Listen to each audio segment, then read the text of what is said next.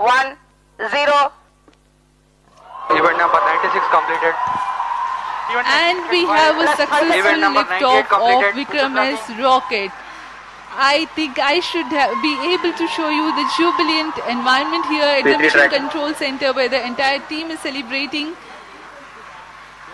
the launch and the spin stabilized rocket. The views uh, from the launcher camera. In a few seconds, uh, the vehicle will undergo the condition of maximum aerodynamic pressure followed by the motor burnout and we will get you those confirmations shortly. The vehicle will Congratulations, India.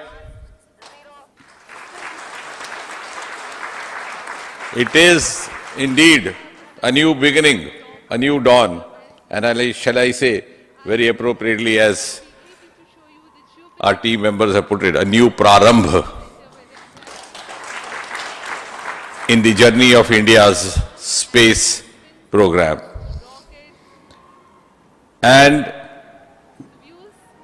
very many thanks to Honorable Prime Minister Modi ji, who has made this effort possible by opening up the space sector to public-private participation.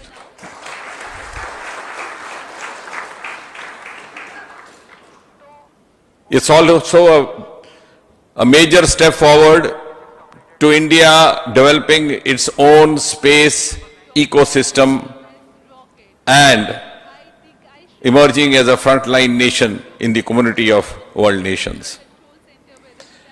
And of course, a turning point in India's startup movement.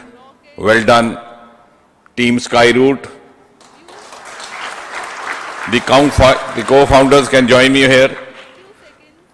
Pavan, IIT Kharagpur alumni Bharat IIT Madras alumni you work day and night to make this possible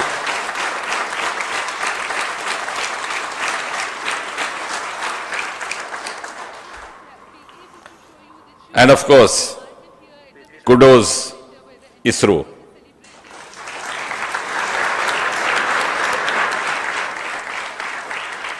You have this day on the 18th of November 2022 added yet one more feather into your much decorated hat. And thanks, thanks ISRO for putting Two, one, zero. Event number 96 completed. Event and we have a successful number 98 liftoff of completed. Vikram S